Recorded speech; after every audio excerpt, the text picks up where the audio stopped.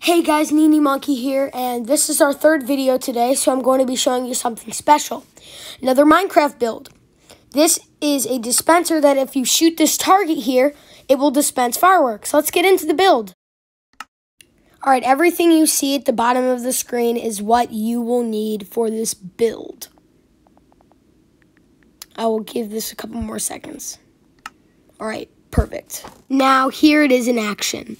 Pretty cool, huh? Alright, so now here's how you build it. Take a block of choice and place it down. Next, put place the target block. Then take an observer, make the obsidian thing or the redstone thing face the back and the face facing front.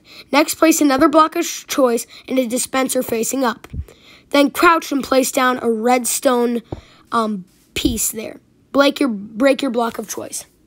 Your build is done. Now all you have to do is put fireworks or um, a rocket in there and take you out your bow and arrow and just shoot. Wow, that's so cool, ain't it?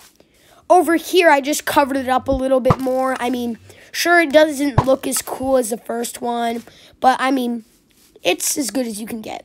Here's the end of the video, guys. Um, also, um, go subscribe to Nick A. Shout out to him. He helped me um, help, like, basically make my entire channel, basically, and he helped me so much.